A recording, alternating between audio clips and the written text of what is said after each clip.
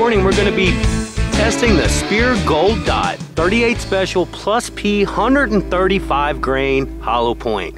As you can see their product number is 53921. This is a box of 50. I did order these online. I have not seen these in the store. I'm not saying you guys can't find them, but this is made for snubbies. 38 Special Plus P, 135 grain, gold dot hollow point. Let's get this shot into the gel, see how it okay, works. guys, here we go with that 135 grain Plus P Speer Gold Dot. Let's check it out.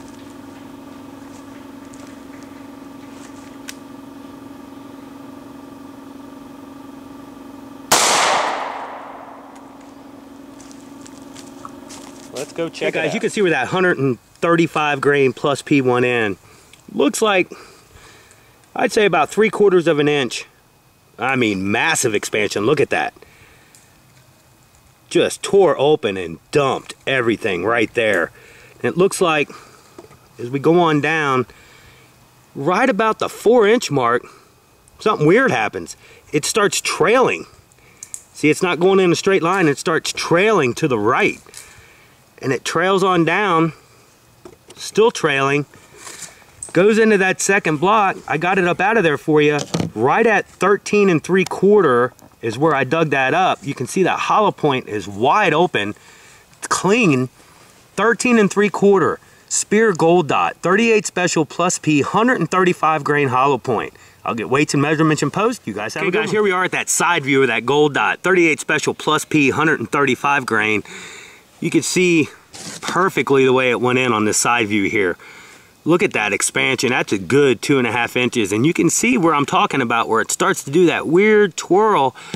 And of course I got this up, so it's gonna look like it's going down now, and it really went to the right. But it tracks on down, tracks on down, and it looks like it was like right at that seven inch mark.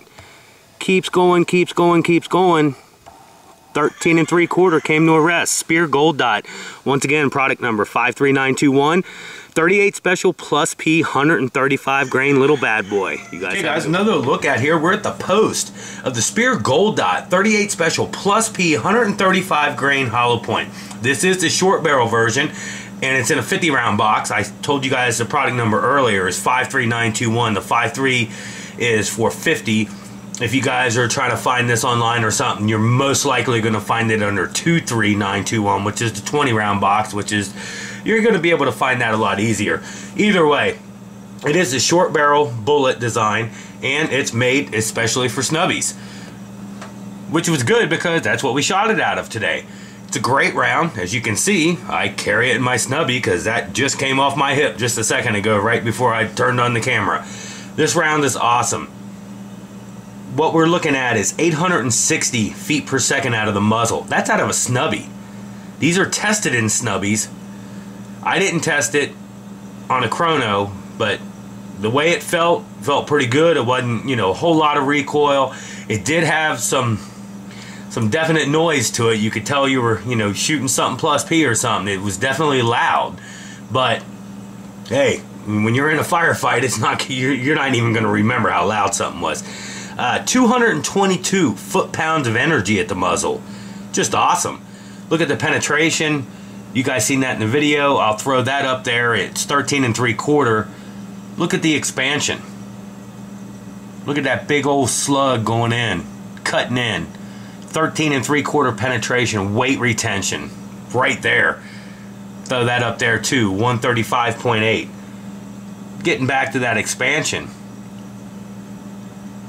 the tip, typical short barrel flat top that I've been seeing testing all these short barrel rounds. They open, they let that lead core push it down through there. It's pretty massive. 0.593 max expansion. That's wicked out of a 38 special. This thing just went in and did its job. You guys seen that initial wound channel.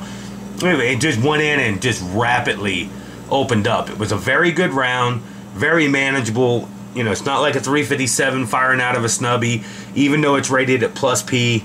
Like I said, it was loud, don't get me wrong, but I'm telling you right now, I wouldn't have known that this was a plus P by the feel of the recoil or anything. So don't let that scare you guys away if you guys got any lightweight snubbies or anything. This is a Taurus Model 605. It's all steel, so it's not lightweight, but, you know, great round. This is just a great round.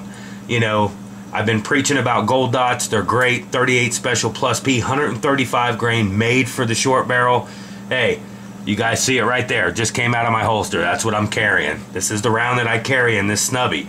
I do carry a couple other ones at certain times, but hey, this is what I've been carrying for a couple months now on this one. So anyway, once again, 13 three quarter penetration, 135.8 weight retention right there, and expansion was awesome. 38 special. 0.593.